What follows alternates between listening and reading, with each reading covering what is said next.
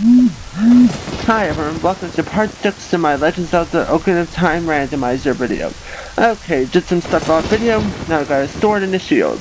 What talking about the sword, I got the sword once in Magogolata here in the graveyard, when I was just hunting Skulltulas to my boomerang. So got it there, and then for 53 rupees I bought the sword again in the Lost Woods. Anyway, on to the Great Deku Tree.